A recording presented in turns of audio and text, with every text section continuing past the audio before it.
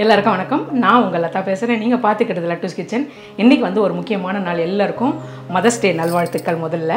அதுக்கப்புறம் வந்து இப்போ நான் செய்ய சமைக்க போகிறது வந்து கருவேப்பிலை எறா மசாலா தான் செய்ய போகிறேன் நிறைய பேர் கேட்டிருந்தீங்க.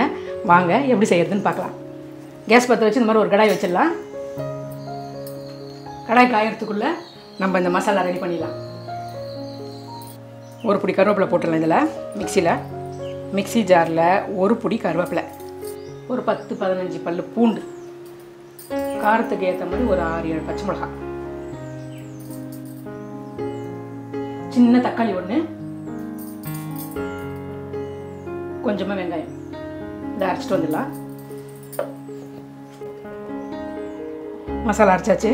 இப்போ எண்ணெய் ஊற்றிடலாம் எறா மசாலாவுக்கு தேவையான அளவுக்கு எண்ணெய். தாளிக்க கொஞ்சமாக சோம்பு.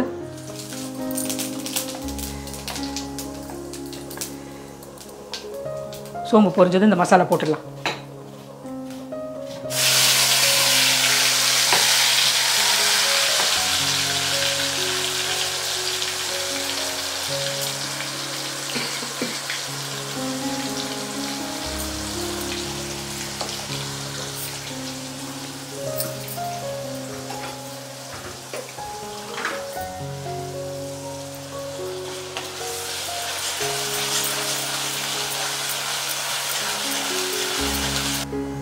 மசாலாவுக்கு தேவையான உப்பு போட்டுடலாம்.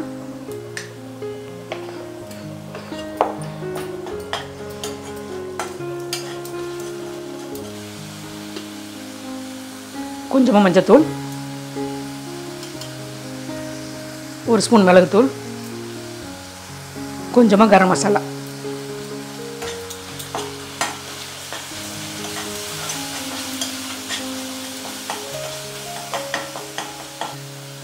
இந்த கழுவி வச்சு சேர்த்துடலாம் இறா கழுவிட்டு கொஞ்சமாக மஞ்சத்தூள் போட்டு வச்சுருக்கேன்.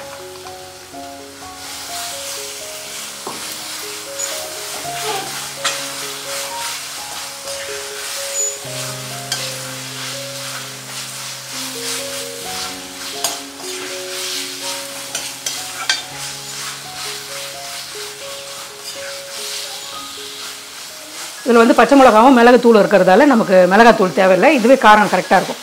இந்த இறை வேகிறதுக்கு கொஞ்சமாக தண்ணி ஊற்றிடலாம்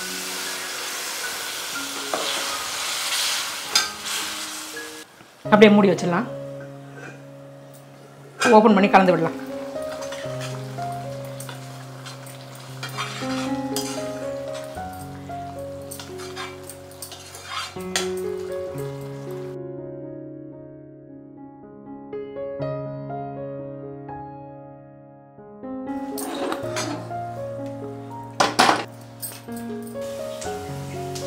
இப்போ ஓப்பன் பண்ணி பார்க்கலாம்?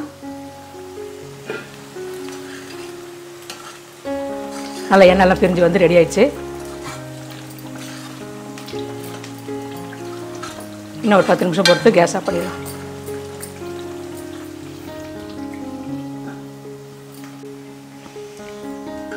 கருவேப்பிலை ஏறா மசாலா ரெடி ஆயிடுச்சு. அப்படியே மூடி வச்சிடலாம். அந்த ஹீட்லேயும் நல்லா கரெக்டாகிடும் இப்போ கேஸ் ஆஃப் பண்ணிடலாம்.